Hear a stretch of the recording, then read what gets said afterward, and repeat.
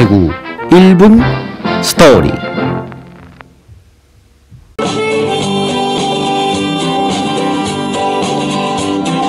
두바퀴로 가는 자동차 네 바퀴로 가는 자전거.